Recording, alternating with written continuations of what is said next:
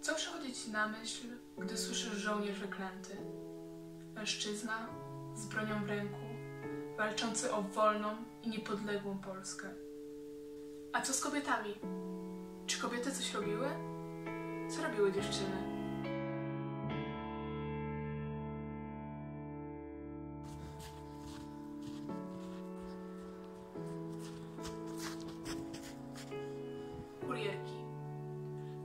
To one nosiły polecenia, wiadomości, rozkazy. Biegły ile tchu w piersiach. Nie mogły dać się złapać. W ich rękach ważyły się losy wolnej Polski. A, ratunku!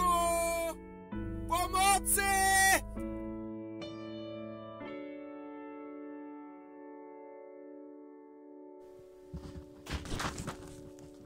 Sanitariuszki. Opatrywały rannych, troszczyły się o schorowanych. Walczyły o ludzkie życie, często nie zważając na swoje. Walczyły ze śmiercią.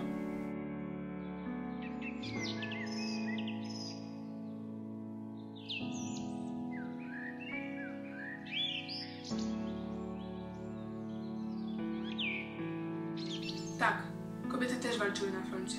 Było nas mało, ale byłyśmy. Walczyły, bo chciały wolnej, niepodległej Polski. To nie wszystko, bo było nas dużo więcej. Matki, kucharki, nauczycielki, te, które dawały schronienie potrzebującym i te, które stawiały opór. Nie chciałyśmy siedzieć bezczynnie. Chciałyśmy pomagać. Chcieliśmy walczyć, jak tylko umiałyśmy.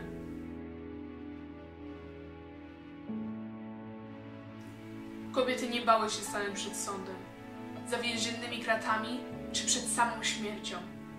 Nigdy nie zostawiłyby swoich chłopaków, narzeczonych czy mężów. Nie mogły, nie chciały siedzieć bezczynnie.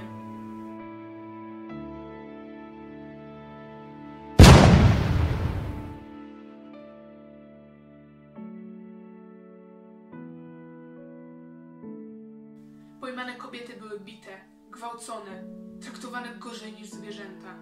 Nikt nie zwracał uwagi na to, w jakim są stanie. Nie było żadnych ustępstw ze względu na płeć. Kobiety i mężczyźni byli traktowani jednakowo, często kończąc martwi.